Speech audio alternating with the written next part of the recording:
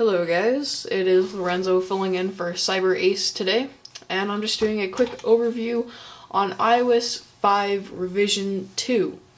So, there's not too much things to note with the new revision, except for one of the main things is it's much faster, snappier, and it's just much better coded, I guess you could say.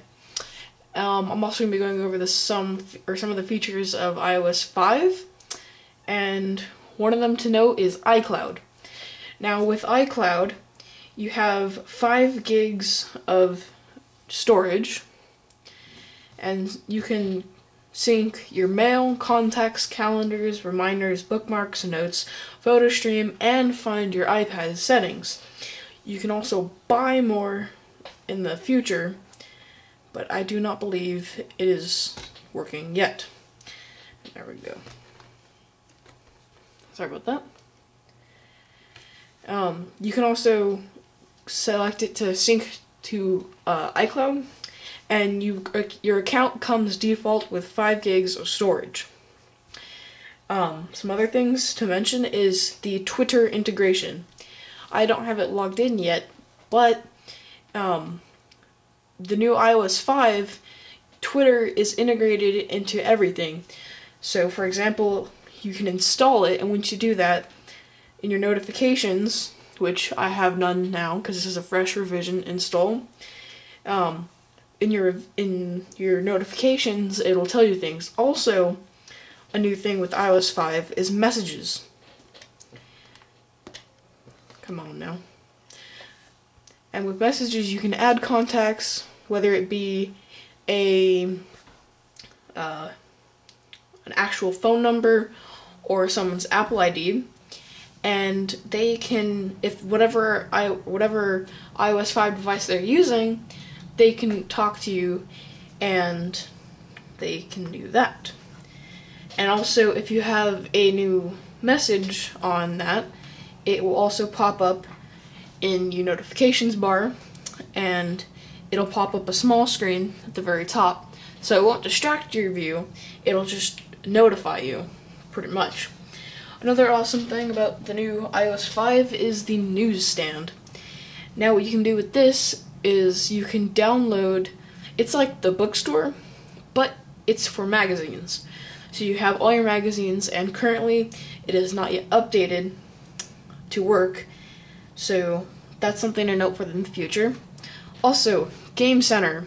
One of the new updates for Game Center is you can download and buy games from the game center. So no longer you have to find the game, or you should get see a friend's game that you want to buy, and uh, you have to go find it on the App Store. With this, with the new revision of the Game Center, you can click on your friend's game and download it right from there. Uh, another thing to mention that's really really nice is the keyboard. So this is the standard widescreen keyboard and now what you can do with this is you can make it split screen. So if you're holding it like on a bus or something and you're typing and you don't you're not able to put it on your lap, you can type with two thumbs like this. So no longer do you have to fiddle, fiddle with it like this while, while you're sitting down. And that is something that I love and it's so easy to get used to. Uh, also, one thing to note, it's Friday. Just not really anything to note.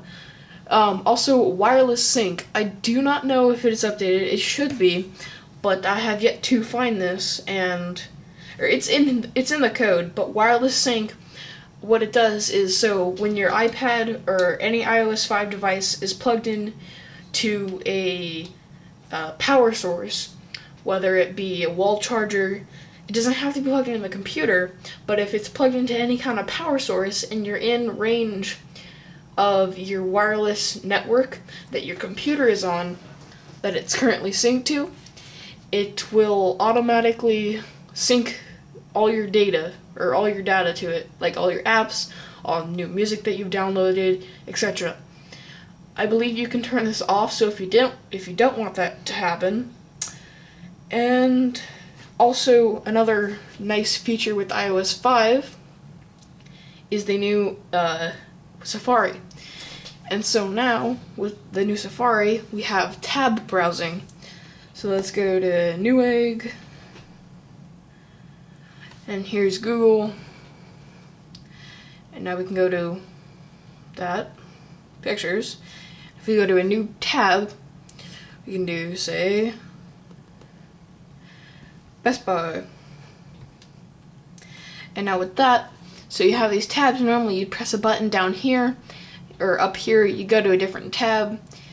But this is much, it's a seamless design, so you just tap that, and there. You can also drag it over there so that this one's in the first priority, for example, and that one's second. You can have a mass number of tabs open.